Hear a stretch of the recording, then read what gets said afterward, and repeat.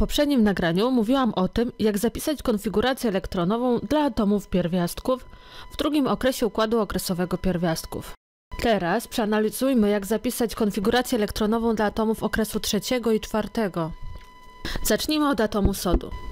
Znajduje się on w okresie trzecim, więc ma trzy zapełnione powłoki.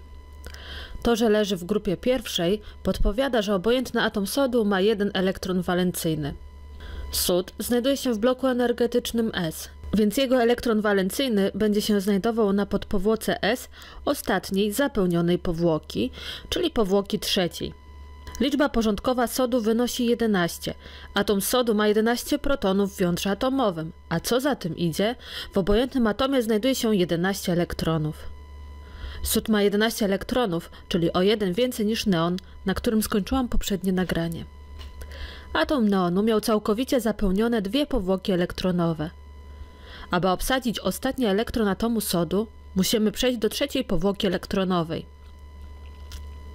I tak n jest równe 3 dla trzeciej powłoki. Możliwe wartości L to 0, 1 i 2. Jeśli L wynosi 0, to mamy do czynienia z orbitalem S. Jeśli L wynosi 1, jeśli L wynosi 1, to z trzema orbitalami p różniącymi się magnetyczną liczbą kwantową. Jeśli L wynosi 2, to mamy do czynienia z pięcioma orbitalami d, które ponownie różnią się od sobą magnetyczną liczbą kwantową. Przyjmuje ona wartości od minus L do L. Na tym wykresie od razu zaznaczyłam, w jakiej kolejności wzrasta energia poszczególnych omawianych orbitali. Skoro w atomie sodu pozostał nam do obsadzenia jeden elektron, to zajmie on podpowłokę, która jest nieobsadzona i ma możliwie najniższą energię. Będzie to podpowłoka 3s. Konfiguracja elektronowa atomu sodu zapisana w sposób podpowłokowy wygląda następująco. 1s2, 2s2, 2p6. Rdzenie atomu ma konfigurację identyczną z poprzedzającym dany atom gazem szlachetnym. A tutaj poprzedzającym gazem szlachetnym jest oczywiście atom neonu. Pozostaje jeszcze jeden elektron do obsadzenia. Elektron walencyjny znajduje się na podpowłoce 3s i mamy 3s1. Skoro do tego momentu mamy identyczną konfigurację jak dla atomu neonu, to możemy ją zapisać wykorzystując metodę rdzenia gazu szlachetnego. Wystarczy, że wstawisz symbol atomu neonu w nawias kwadratowy. I od razu będzie wiadomo, że tu ukryta jest cała konfiguracja dla rdzenia atomu sodu. I do tego wystarczy dopisać już tylko konfigurację opisującą elektrony walencyjne. Ten zapis, przypomnę, nazywamy zapisem konfiguracji elektronowej z wykorzystaniem rdzenia gazu szlachetnego. Albo możesz powiedzieć, że jest to skrócony zapis konfiguracji elektronowej. Przejdźmy do innego pierwiastka z trzeciego okresu. Zapisz konfigurację elektronową jakiegoś elementu z bloku energetycznego P. Jak będzie wyglądać konfiguracja elektronowa przykład dla atomu glinu? Obojętny atom glinu ma 13 elektronów. Atom glinu ma o 2 elektrony więcej niż atom sodu. Jeden z tych dwóch elektronów znajduje się jeszcze na podpowłoce 3s. Tutaj mamy niecałkowicie obsadzony orbital, a ma on niższą energię niż orbitale 3p, które są następne do zapełnienia. Jeden elektron obsadzi zatem ten orbital 3s i będzie różnił się od tego elektronu spinową liczbą kwantową. Natomiast ostatni elektron glinu jest obsadzony na podpowłoce p, na jednym dowolnym orbitalu p trzeciej powłoki. Zapiszmy konfigurację elektronową atomu glinu, wykorzystując notację gazu szlachetnego. Najpierw szukamy atomu gazu szlachetnego, który poprzedza glin w układzie okresowym pierwiastków. Tak jak dla atomu sodu jest to atom neonu. Dla wszystkich pierwiastków w okresie trzecim poprzedzającym gazem jest neon. Zapisujemy neon w nawiasie kwadratowym i pozostaje nam już tylko opisać elektrony walencyjne. Glin znajduje się w 13 grupie układu okresowego pierwiastku w bloku energetycznym P, więc jego elektrony walencyjne obsadzają trzecią powłokę dokładnie pod powłokę S i pod powłokę P.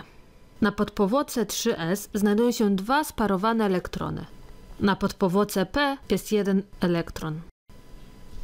Zapiszmy konfigurację elektronową dla gazu szlachetnego znajdującego się w trzecim okresie. Skoro mamy do czynienia z gazem szlachetnym, to oznacza, że będzie miał on w pełni zapełnione orbitale. nie będzie miał żadnego elektronu niesparowanego. Dla atomu argonu, bo o nim mowa, elektrony walencyjne będą się znajdować na powłoce trzeciej. Dokładnie pod powłoce S i pod powłoce P. Zapisz jego konfigurację elektronową z wykorzystaniem notacji gazu szlachetnego.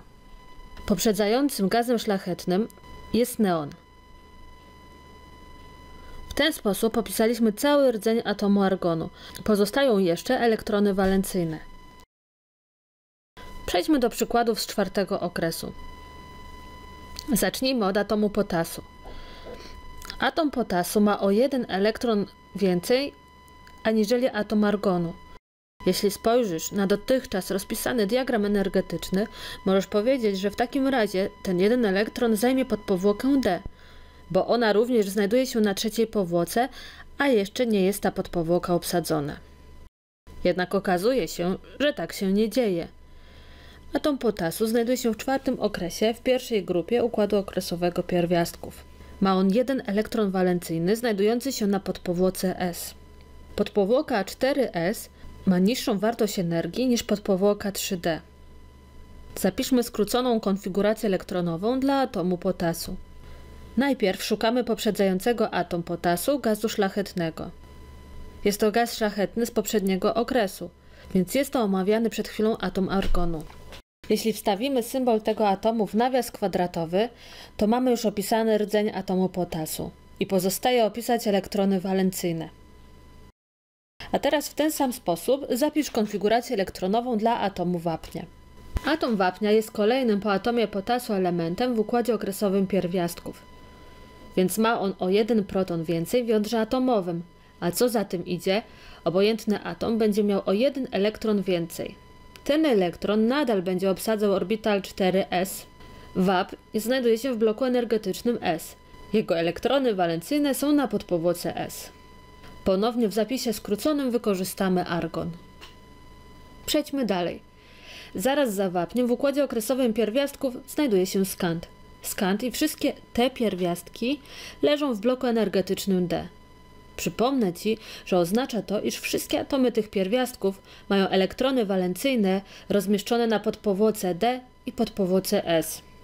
Jeśli chodzi o blok energetyczny D, to poświęcę mu kolejne nagranie. Jednak zobacz, że w tym bloku w danym okresie znajduje się 10 pierwiastków. Tyle samo elektronów może pomieścić podpowłoka D, która składa się z pięciu orbitali. Jeśli chodzi o wzrost energii, to wyższą energię ma podpowłoka 3D, aniżeli podpowłoka 4S. W takim razie najpierw jest zapełniana podpowłoka 4S, a następnie 3D. Jeśli podpowłoka 3D jest zapełniona, to kolejną podpowłoką, podpowłoką o wyższej energii jest podpowłoka 4P. Przejdźmy do bloku energetycznego P i zapiszmy konfigurację elektronową dla atomu galu w sposób skrócony. Oczywiście najpierw zobacz, jaki gaz szlachetny znajduje się w okresie poprzedzającym okres, w którym jest atom galu. Tak, jest to argon. Teraz wystarczy dopisać elektrony, których nie opisuje rdzeń atomu. Atom argonu ma 18 elektronów. Atom galu ma 31 elektrony, z czego 18 jest ukryte w tym zapisie.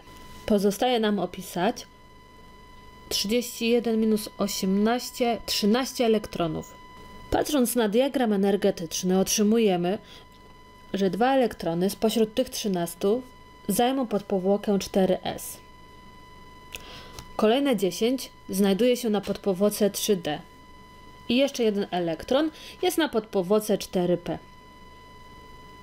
W takim razie konfiguracja elektronowa atomu galu zapisana w sposób skrócony wygląda następująco.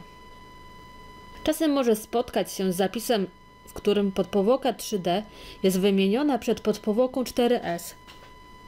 Oba zapisy są poprawne. Przejdźmy do ostatniego przykładu, jaki chciałabym omówić w tym nagraniu.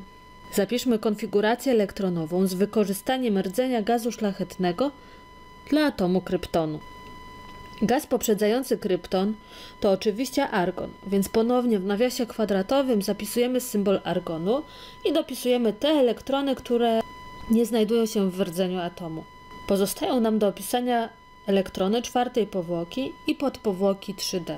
Atom kryptonu ma o 5 elektronów więcej niż atom galu i te 5 elektronów zmieści się na podpowłoce 4p. Konfiguracja atomu kryptonu wygląda następująco.